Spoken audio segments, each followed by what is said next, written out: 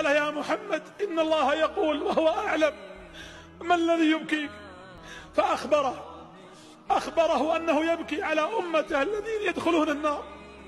فرجع جبريل إلى الله وقال يا رب إن محمد يبكي على أمته الذين يدخلون النار. قال يا جبريل اذهب إلى محمد وقل له إن الله لن يسوءك في أمتك. إن الله لن يسوءك في أمتك.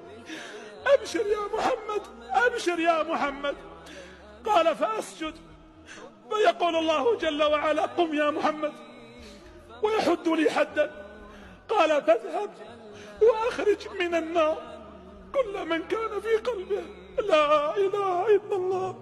من كمثل محمد يختار في كفة التوحيد لايكي